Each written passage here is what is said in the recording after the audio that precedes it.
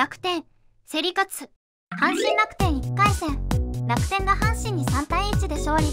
楽天交流戦知りたい明日楽天ポイント2倍やったなんとか勝ち切ったか則本劇場を楽しませてもらった。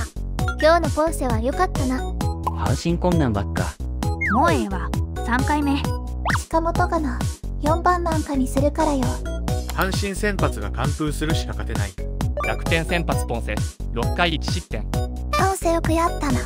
ポンセはセ・リーグ相手の交流戦は結構いけるかな。混戦を踏ん張った。楽天則本セーブ。則本も本当よく抑えてるわ。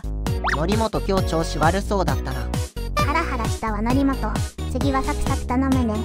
阪神先発村上6回1失点。村上はまあ最低限の仕事はした。村上が続かないのかショック。しかし村上の守備ミス多いわ。阪神リリーフゲラ。0.2回に失点。ゲラは落ちる球覚えないと厳しい。ゲラはもう負けたでええんとちゃうかな。ゲラマッシュをやろうな1回。楽天打撃成績。村林タイムリー。村林得意のやつ。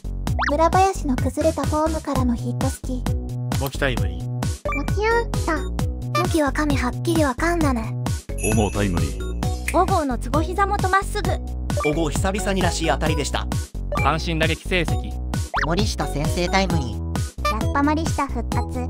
森下やっぱり仕事できるわ。ご視聴ありがとうございました。話題の野球情報をお届けしていますので、チャンネル登録をよろしくお願いします。